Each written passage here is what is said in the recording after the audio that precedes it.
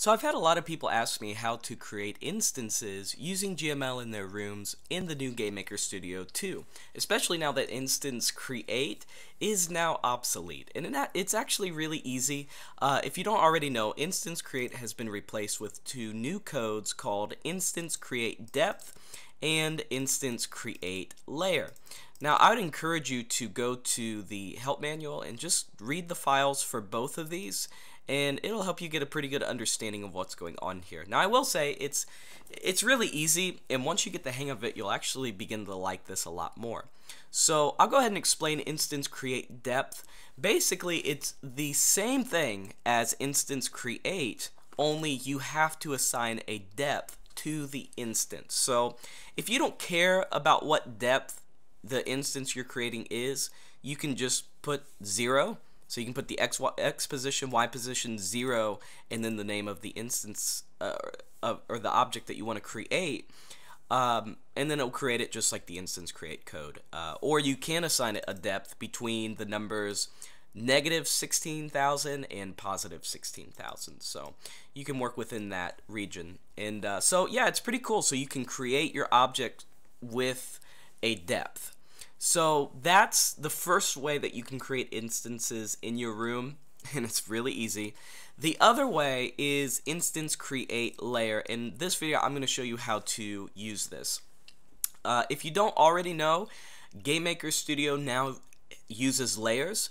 And layers are basically the same thing that you find in like Photoshop or any image editing software where you have these different layers and you can uh, manipulate things within that layer. And it's pretty handy and it's, uh, again, you'll, you'll end up really loving it once you get used to it.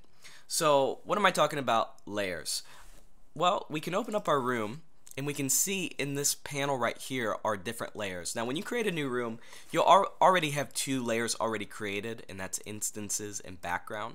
You can also create more layers with these buttons down here. You can create a new background layer, a new instance layer, a new tile set layer, a path layer, and a asset layer and then you can create new folders to keep your layers organized and you can delete your layers as well. So you can only edit the layer that you have selected. So I cannot change my background at all unless I click my primary background layer, which is this one right here. And now I can change the color of the background. So let's change it to this horrible color. Uh, so there we go. Uh, I can also give my my background an image.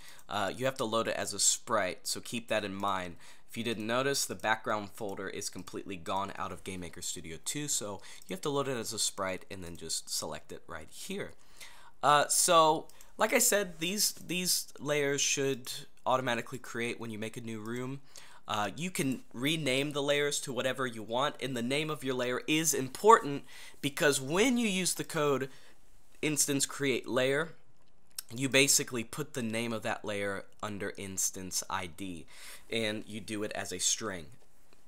So keep that in mind. You can use an ID, which is a number, which is more efficient, but it doesn't matter that much. You can use a string. So basically, you would take this name instances, and you would put that for the third argument of instance create layer. But again, you can name these two whatever you want, and I encourage you, you're going to want multiple layers because you can do a lot with layers. And I'm not going to do a whole tutorial in this video on layers, but again, check out the help menu because you can deactivate uh, a whole layer of objects. So let's say you want to get rid of all the enemies at once. Let's say the player has like this super ability that will kill all the enemies. Uh, you can have a layer with all your enemies in it and then just boom, just do something with them all at once. So uh, it's cool to have an understanding of layers and get good with them because you can do a lot of interesting things with them. So we're going to make multiple layers. Uh, we're going to rename this layer called instances to our controller objects.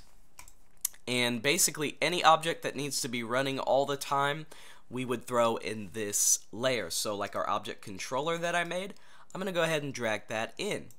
I'm now going to make a new layer, and I'm going to call this one walls. And then I'm going to drag my wall in. Uh, I got to select my layer. Now I'm going to drag my wall in. Okay, so again, you can only manipulate the objects that uh, are in the layer that you've selected. So I cannot click this controller object at all. Now I can click this, I can move it around, but I can't mess with this controller object unless I select the layer that this object is in. And of course now I can't mess with my walls. Um, I can make these invisible, I can bring them back. If I delete, which let me add a few more in here. Uh, if I delete this walls layer, there goes all my instances within that layer. So you can see it's pretty cool. It, it's pretty neat once you get the hang of it. Uh, so we're going to make a new layer, and again, we're going to name it walls. And then we're going to um, go back to our workspace, and in Object Controller, we're going to add an event. It's going to be a key press um, space, and then we're going to basically say, whenever we click space, instance create layer and then we're going to say our mouse X, our mouse Y, and then for our layer ID, we're going to put this in walls. And then we're going to create object wall 1. So um, that's basically all you have to do. So you can see I have this in a string, so you got to put quotations around this. It's not a variable, it will be a string. So there's walls, and that's what I've named this layer. So now when we run our game, whenever we click space, it should create uh, our green wall, which is wall 1, at my mouse X and my mouse Y. So it's, yeah, it's that easy. And then we could say something like, um, when we do key press, I don't know, enter, uh, we could do something like this. We can deactivate, um, where's it at? Is it this one? Uh, yeah, so, so we can, we can do this. So when we click enter, we can use this code, uh, instance deactivate layer, and then we can put in our layer ID, which is walls. So now, I mean, this is just something for you to understand and something for you to know. But uh, now when we ever when we click enter, it will delete any any object that we've created in the layer that's called walls. So let's run the game. So again, when we click uh, space, it's going to create these uh, walls in the object, uh, or I'm sorry, in the layer walls. And when we click enter, it's going to, boom, delete them all at once, which is super cool. So again, to give you more of an understanding, we're going to create one more instance layer, and we're going to rename this to walls under slash 2. So now in our uh, controller object, whenever we, uh, let's see here, key press, whenever we click up, let's say instance create layer uh, mouse X mouse Y mouse Y and then walls under slash 2 and then object wall 2. So now when we click the up key, uh, it's going to create one of these blue walls in the new instance layer, which I've called walls 2. So let's go ahead and play the game. So now when we click space, it's going to create our green walls at our mouse position. When we click the up uh, arrow key, it's going to create the blue uh, walls. But when we click enter, all the green walls should disappear and it does, but it keeps our blue walls.